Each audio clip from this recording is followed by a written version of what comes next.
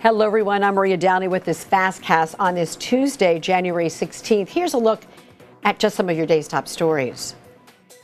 It's official. State lawmakers are back in Juneau, the new session kicking off today. And we have a crew there to cover all the action. Some of the pre filed bills range from resource development funds to mental health issues.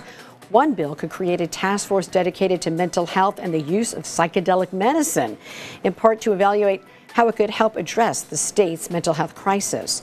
Another bill would put part of the funds from North Slope Natural Gas into the permanent fund and also establishing a missing and murdered Indigenous Persons Review Commission, along with another bill one that would fund construction and maintenance work at schools. We'll have details on day one tonight at 6 and, of course, throughout the day on alaskasnewssource.com. And while lawmakers have made it to Juneau, it's tough going around town. Some roads are impassable due to the heavy snow.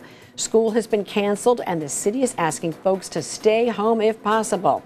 And there's also issues at the docks. Boat owners are being warned to clear off snow and check to see if their boats are taking on water. So far, three boats have already sunk due to that heavy snow.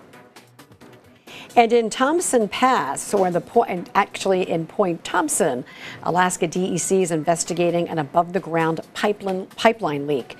Discovered Sunday on the North Slope, the location is about 35 miles east of Prudhoe Bay. At this time, the amount of liquid natural gas con condensate is, is not known, but cleanup is already underway. The DEC is trying to find out the cause of the leak and possible impact on the environment. To get more information on these stories along with the day's news, weather, and sports, you can go to alaskasnewssource.com and also on these streaming platforms.